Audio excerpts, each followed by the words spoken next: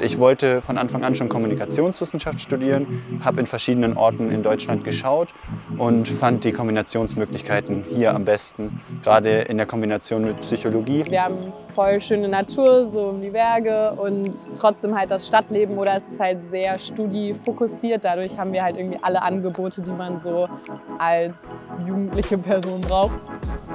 Was wir hier tun, ist Studierenden eben die Fähigkeiten zu vermitteln, wie man die Rolle von Kommunikation analysieren kann, wie man mit Daten umgeht und wie man das Ganze am Ende interpretiert. Das Institut deckt vier Lehrbereiche ab. Zum einen haben wir die Digitalisierung und Öffentlichkeit. Das wird von der Frau Professorin Humprecht eingenommen werden.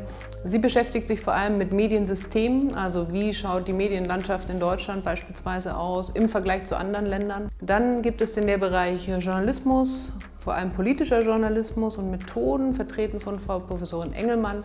Sie beschäftigt sich mit alternativen Medien. Daneben gibt es die Kommunikationspsychologie bei Professor Rothmund. Er beschäftigt sich vor allem damit, naja, welche Wirkung hat eigentlich Kommunikation auf uns? Was macht Missinformation, Desinformation mit unseren Einstellungen?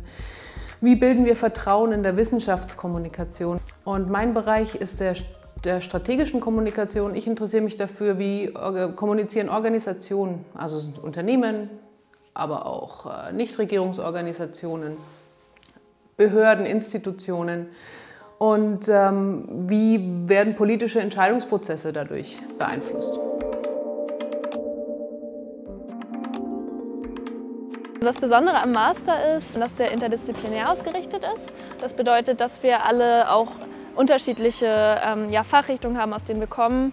Also ähm, viele von uns haben Kommunikationswissenschaften oder Politikwissenschaften studiert. Ich habe zum Beispiel Psychologie vorher gemacht. Es gibt aber auch Leute, die haben Soziologie studiert.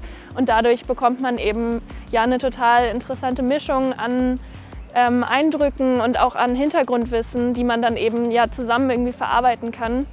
Und es macht auf jeden Fall Spaß, dann auch voneinander zu lernen. Jena ist eine Stelle, wo ich eben die Möglichkeit habe, vor allen Dingen auch in der politischen Psychologie zu arbeiten, zu überlegen, okay, wie spielt zum Beispiel Kommunikation, politische Kommunikation zusammen mit psychologischen Grundlagen dahinter. Und das hat mich am Ende dann nach Jena geführt.